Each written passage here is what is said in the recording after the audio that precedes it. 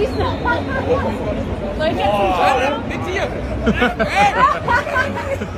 Warte, soll ich ein Foto von euch machen? Meine Mutter ruft caralho. an.